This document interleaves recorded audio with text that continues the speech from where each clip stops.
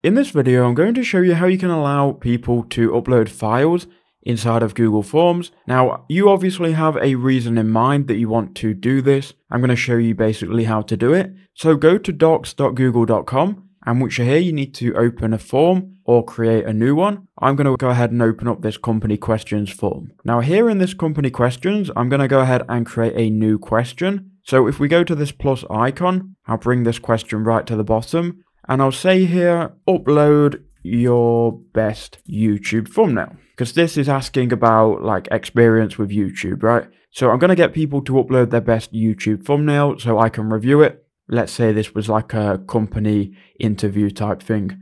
So we can change this from multiple choice to file upload, and it's going to let respondents upload files to a Google Drive. Now they'll be required to sign into Google Drive when they upload the form, and it says here, please only share this with people you trust. I guess this is because you'll have access to their Google Drive email. So go ahead and click on continue. Now here you've got some options regarding the file type.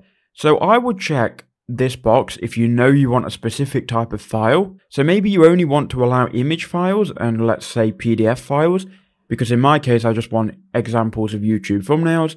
Maybe they want to upload multiple in terms of a PDF or an image.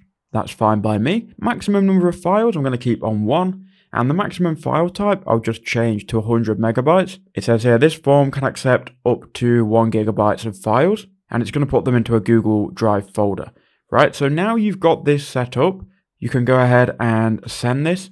So here is the form. I do believe because it requires Google Drive, it is going to require someone to be signed in. So you would answer this form and they'll be able to then upload a file. So they can even upload files from their Google Drive, but nonetheless, they will click browse. They could then upload a thumbnail. So I'm just going to upload this one and it should then upload it. Once it's uploaded, we can then click submit. So for us to view this, once someone's uploaded it, you want to go to responses and here you'll see under your question which accepts files, you'll have all the files, you will then be able to click on them and it will open in Google Drive. So that's how you do it. I hope that helped you out.